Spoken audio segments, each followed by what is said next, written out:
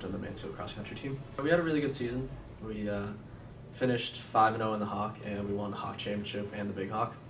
And uh, then we got a little injured and uh, didn't too, do too great at Eastern Mass, but we came back at all states and came in 10th, so I'm happy with it.